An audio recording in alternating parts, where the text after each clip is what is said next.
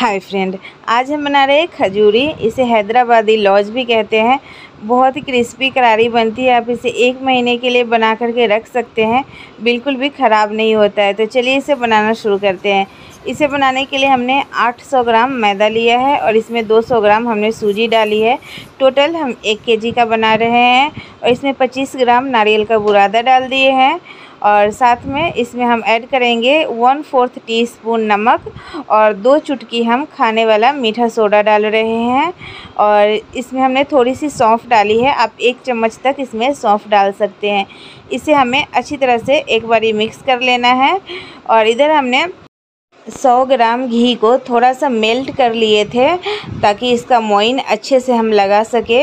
ये जो खजूरी हम बना रहे हैं, एकदम परतदार बन कर के तैयार होगी।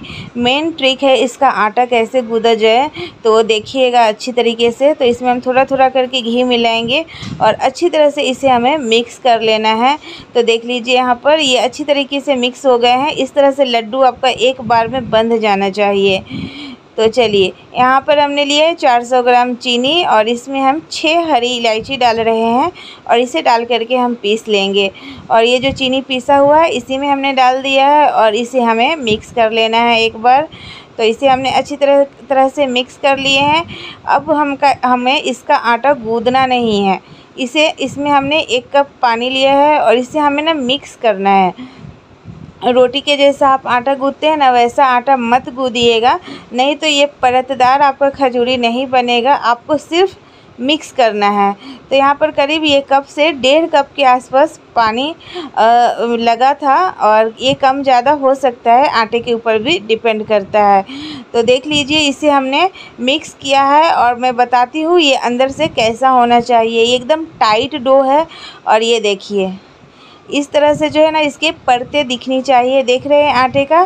तो ये अच्छी तरीके से आप एकदम रोटी के जैसा मत गूदिए, मिक्स करके और आप इसे गूद लीजिए थोड़ा सा। एक इसका हम बड़ा सा पेड़ा तोड़े हैं, यानी इतना आटा में हमने तीन पेड़ा तोड़ा है बड़ी बड़ी साइज़ का। यहाँ पर कुछ भी आप मैदा वगैरह, आटा नहीं लगाना, तेल वगैरह आप चाहे तो लगा सकते हैं, मैंने तो कुछ भी नहीं लगाया है। ये इजी से बेले जाते हैं।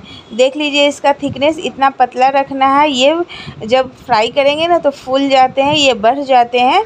तो इस तरह से मैं इसका लॉज का ही सेप दे रही हूँ, जिस जिस तरह से मार्केट में बिकता है, आप कोई भी सेप इसका दे सकते हैं जो आपके लिए आसान हो।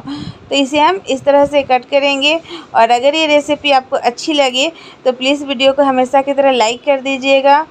और आपको ये लॉज पसंद है कि नहीं, और आपके मोहल्ले में, आपके इलाके में इसे क्या बोलते हैं कमेंट करके ज़रूर बताइएगा। क्योंकि हम लोग तो इसे खजूरी और लॉज के नाम से जानते हैं। हो सकता है आपके एरिया में ये किसी और से, नाम से भी जाना जाता हो। तो इधर हमने लो फ्लेम पर तेल चढ़ा दिया था गर्म होने के लिए। मीडियम गर्म तेल होना चाहिए। मीडियम से भी कम। हाई फ्लेम बिल्कुल भी मत कीजिएगा, नहीं तो ये अंदर से पकेंगे नहीं। इस तीन चार मिनट के बाद में इसे हम पलट रहे हैं और ये बहुत ही नरम होता है इस वक्त तो सावधानी से पलटिए, एकदम ज़ोर ज़ोर से मत हिलाइएगा और इसे फ्राई होने में कम से कम आठ से दस मिनट का टाइम लगता है मीडियम टू लो फ्लेम पर। तो ये देखिए हमारा खजूरी फ्राई हो चुका है, इसी तरह हम बाकी के बचे खजूरी को भी फ्राई कर लेंगे और इसे ठंडा होने के लिए दो घंटे के लिए कम से कम खुली हवा में छोड़ दीजिएगा।